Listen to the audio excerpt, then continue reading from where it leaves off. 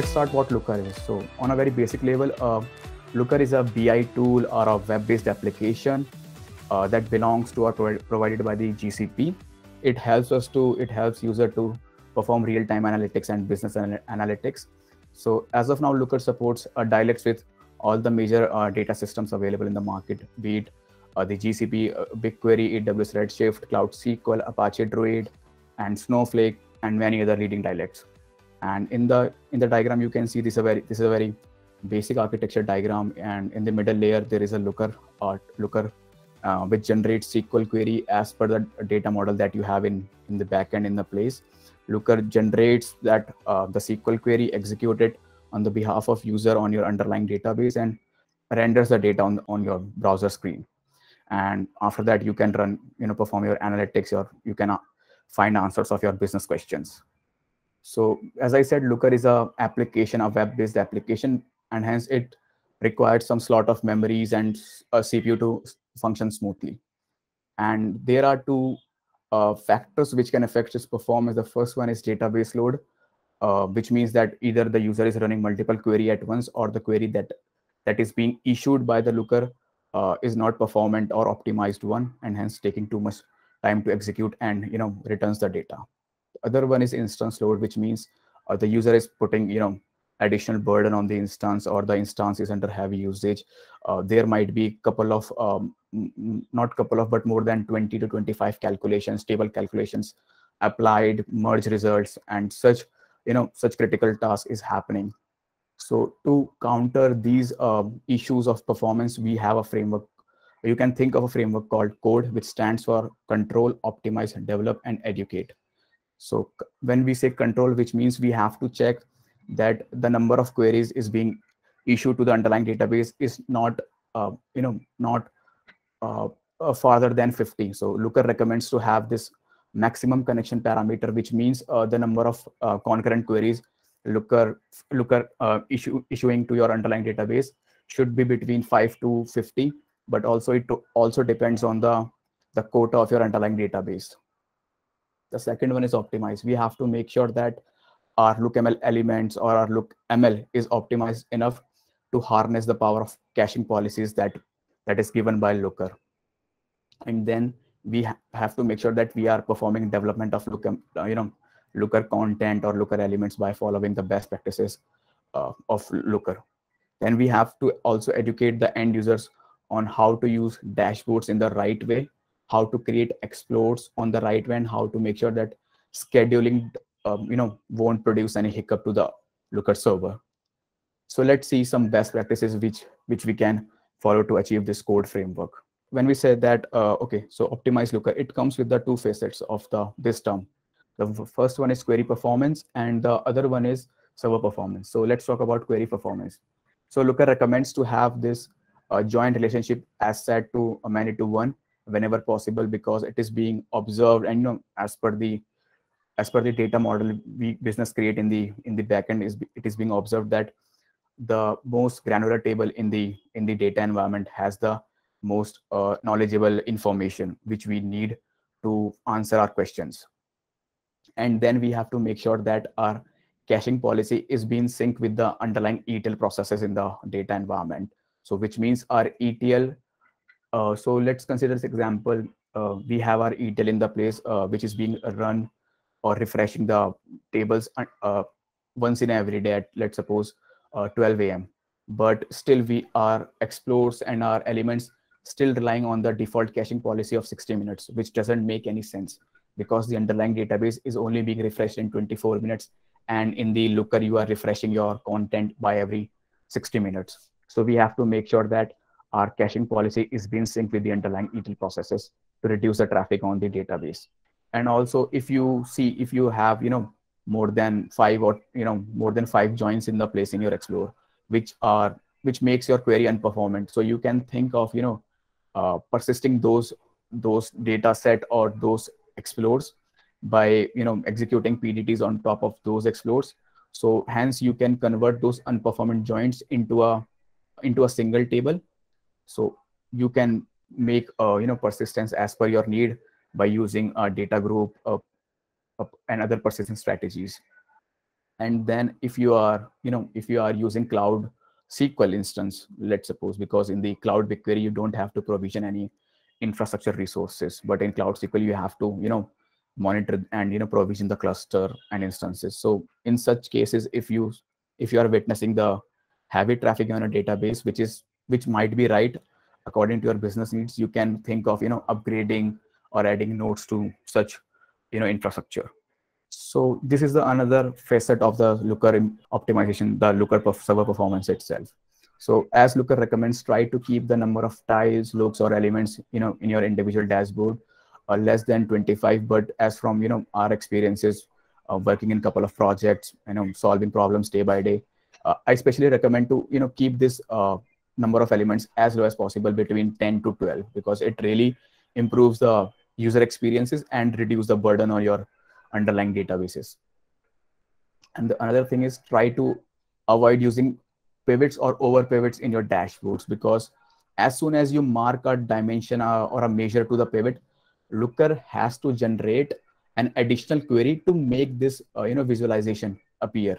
So for the example you can just go to and explore you know any explorer and try to pivot something or some join or some dimensions you can see in the sql tab there is an additional query being generated to make your you know visualization in that way. So which will produce you know more you know more amount of query and add new burden on your underlying database and also consumes browser's memory or you know java memory of the looker. And if there is any calculation in your in your in your tiles on an explorer which is frequently which is being frequently used in another reports as well. So the best practice is to have those calculations in your etl part only in your you know underlying database only. And if not then try to perform those calculations in the look ml form. Uh, because looker recommends to have um, you know uh, less than 20 table calculations in the place if you, if you need to perform any but we recommend to have it at least you know below 10 because as from my observations working you know different clients in my you know working looker journey it is good to have you know table calculation less than uh, 10 and try to avoid the merge result option in the looker. So if there is a valid case where you need to perform you know this merge merge option so you can go with it but also make sure that that merge option is not impacting your looker performance or your underlying database. You can also think to segregate you know models. Let's suppose you have a, a financial data so you can create a model dot financial and then you have a sales data so you can you know create models accordingly. And also you know there is no need to create table having 5000 rows because no one is going to scroll you know each and every row in the underlying visualization. So you can think of you know create some matrix or some you know data data rows to show the aggregate of all those rows but it's not it's not the right practice to you know to mark all the 5000 rows in your visualization. And this thing uh, you know the question was pdt so try to avoid you know multiple pdt building at the same time because looker has to keep an eye you know each and every pdt schedule and you know monitor each and every pdt schedule and execute them accordingly. So try to avoid this uh, you know a situation where multiple pdts are being generated at the same time and multiple delivery or schedules of dashboard is being happening at the same time. So there is also a way where you can monitor the performance of your instances or, and you know check upon its usage. So Looker, this is a functionality provided by the Looker called a system activity dashboard, which is nothing but you know much similar to the to the dashboards that user you know made. So but the difference is the data which is being served in these dashboard is not coming to your underlying database, but the database on which your instance is being hosted. So it comes directly from the Looker server activity. You know, it just gather all the metrics, you know, aggregating all the data and presenting it to you so that you can make the right decision, you know, in by taking consideration of performance and usage. So there are five dashboards, five system activity dashboards. The first one is user activity where you can check the user activities. Okay. So how much time user is being spending on um, git events, how much user, you know, how many, how many queries user is being uh, executing on the database. Then is the content activity where you can check the most popular dashboard and the underutilized dashboards or looks.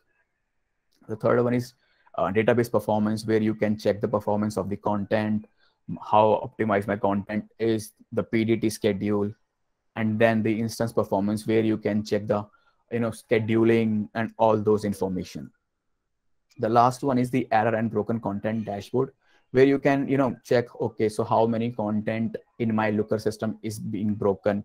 And you can you know you can represent those insights to your customer and make uh, you know make a judgment. Okay so do i really need this in you know this particular dashboard or report? If not it is good to have it is good to delete them because because it will consume the me unnecessary memory in your looker instances. So it is good to have you know keep an eye on these system activity dashboards and represent to the customer and take decisions accordingly so now let's take a look to the system activity dashboards that we have in the looker instances so this is user activity dashboard where you can, you know, see, okay, so I have this number of users, 95 out of, you know, people have admin or developer roles and all those informations. And also you can, you know, uh, put alerts on top of these dashboards or tile. So if you want to make sure that uh, no users is, you know, executing query, uh, you know, this much limit. So you can just go click on this, you know, bell icon and you can put the conditions accordingly whether on you know on the higher aggregation level or on the user's individual aggregation level. You can set the conditions. You can you know as of now the only delivery module is you know mode is email. So you can the you can add the mail of the desired people who can who gonna look after all those system activities you can set the frequency and all the policies all the alerting policies so this way you can also put alerts on the system activity dashboard to keep an eye on everything the other one is content activity. So you can check here which content is being used, which is unused, and you can then further analyze, okay, do I really need this content? And do and then you can discuss with your customer and and if not required, you can discard them or delete them. So you will have a more, you know, under you you can discard the underutilized memory. Then we have the database performance where you can check how much uh, data from format dashboard is being uh, you know, fetching from the cache, the Looker cache, and the user, you know, on user on the user basis. Okay, so this user fired this much query, and and so on. So then we have the instance performance where you can check the performance of instance. So there is a you know option called auto refresh on. So you can you can check okay so how many dashboard is being rely on this particular functionality. And we also need to make sure that that this functionality is being used cautiously because this is because this will put an extra burden. You know every time you click on the link of dashboard and in the particular window it will clear the cache automatically. So we need to use this functionality very cautiously. And also you can check which dashboard ha has more than 25 tiles and you can take decision accordingly. And then the uh, you know broken content dashboard where you can check uh, which um, which content is being broken. You can go and fix them and also analyze them.